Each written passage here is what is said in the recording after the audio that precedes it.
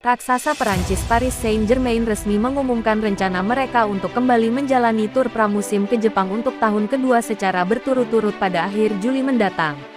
PSG akan memainkan tiga pertandingan persahabatan selama di Jepang.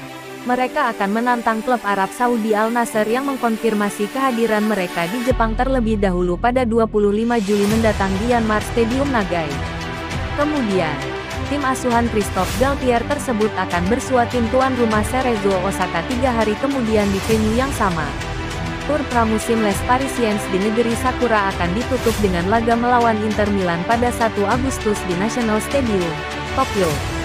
Selain melawan PSG, Al Nassr juga akan melawan Inter Milan pada 27 Juli di Yanmar Stadium Nagai.